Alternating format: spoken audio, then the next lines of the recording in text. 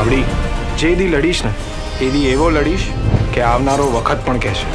એ વિજયભાઈ, હંમેશા આ સ્ટોરીની વાત કરતા કે યાર આ એક વાર્તા છે જે મારે કરવી છે.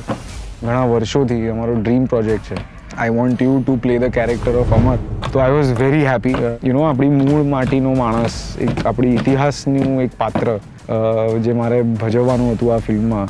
એમણે કહ્યું કે ઘણા બધી એડવાઇસની અગેન્સ્ટ હું તને આમાં કાસ્ટ કરી રહ્યો છું. અને આઈ કમ્પ્લીટલી અન્ડરસ્ટુડ કે હા, મારું યુઝ્યુઅલ કાસ્ટિંગ આઉટસ્પોકન ટાઈપ કેરેક્ટર્સમાં થતું હોય છે. આ કેરેક્ટરની વર્કશોપ માત્ર આપણે વાત કરીએ ને તો ઇન્સ્ટેડ ઓફ કે ભાઈ યુ નો પંદર વાર, વીસ વાર સ્ક્રિપ્ટ વાંચો રિહર્સલ કરો સીન વર્ક એ બધું કંઈ જ નહીં.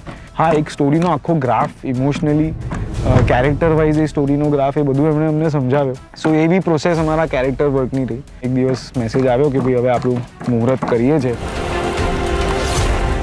ખાલી જમીન ઉપર અમે લોકોએ મુહૂર્ત કર્યું અને આમ આખું પ્રોપર ગામડું ક્યાંક વસાવ્યું હોય ને, તમને એવી જ ફિલિંગ આવે એમ. ગામના પાદરમાં અમારા જેટલા બધા સિક્વન્સ હતા, મારો ને નાગરાજનો સિક્વન્સ બધા તલવારના જે પ્રેક્ટિસના સેશન્સ હતા.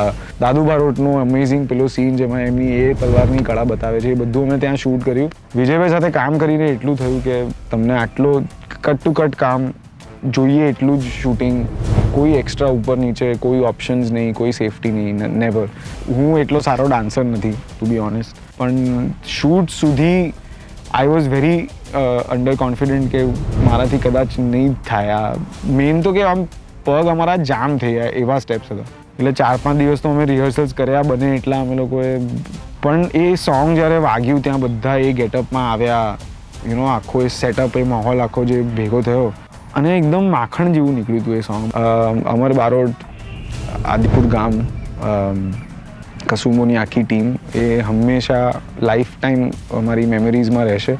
ઇટ્સ હેડ્સ ઓફ એમ. સલામ છે એ લોકોને.